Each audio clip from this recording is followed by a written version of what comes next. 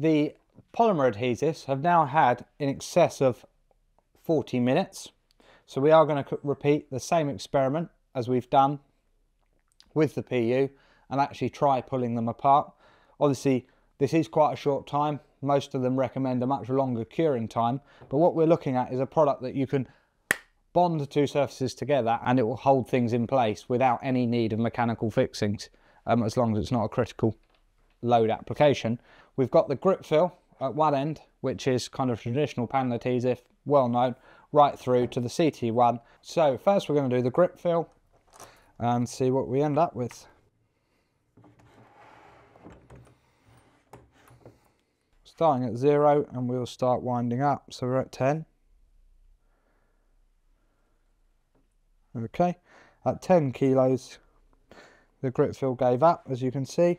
It's just lifted up. You can see it has sort of kind of bonded all together. Next we're going to do Stuck-it. So this is the first of the this is the first of the polymer adhesives. So 10, 20,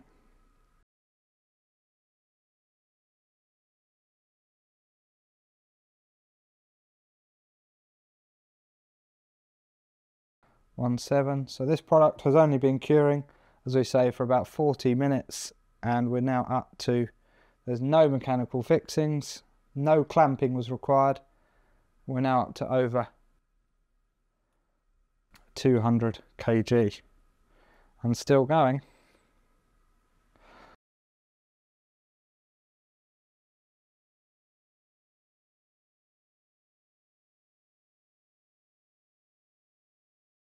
Something's going to go bang.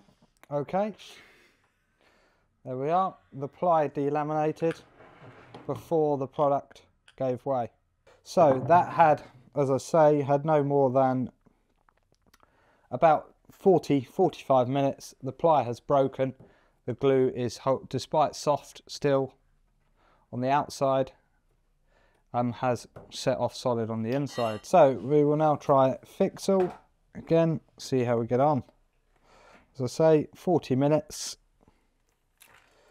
Oh, that went quick.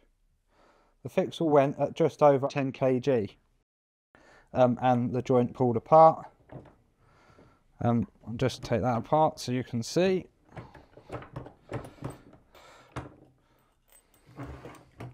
So that has come apart. So next we'll try sticks like.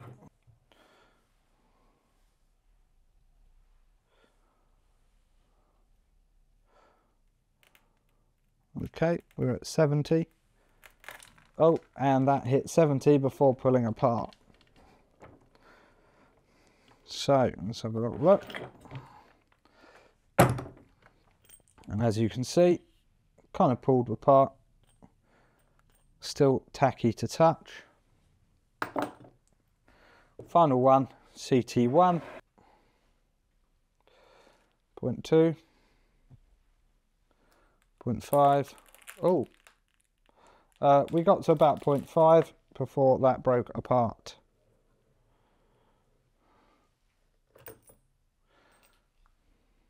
As you can see. That one did slightly start to delaminate the uh, ply as well, but it clearly was the glue bond that broke first. You might ask, how fair is the test? Well, it's not hugely scientific, but we did try and keep everything fair. The pieces of wood are all out the same sheet. They're all ply. They're all cut to 120 um, mils square. We've done it in the same room with the same temperature. They've all had the same time.